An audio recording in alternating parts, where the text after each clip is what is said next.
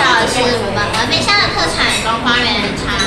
此茶为纯手工采摘，被茶小绿叶茶稀释过后的茶芽制作而成。这破茶功效有很多，可以预防中暑、预防便秘等等的功效，甚至还可以延年益寿。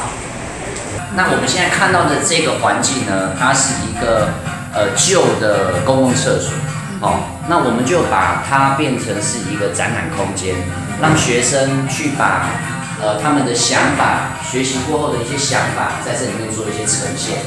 所谓的鸭尖稻就是鸭子和稻稻子的互助合作的一个概念。呃，农民会把鸭子放到水稻中，让它踩踏，这样就不容易不容易让杂草生长。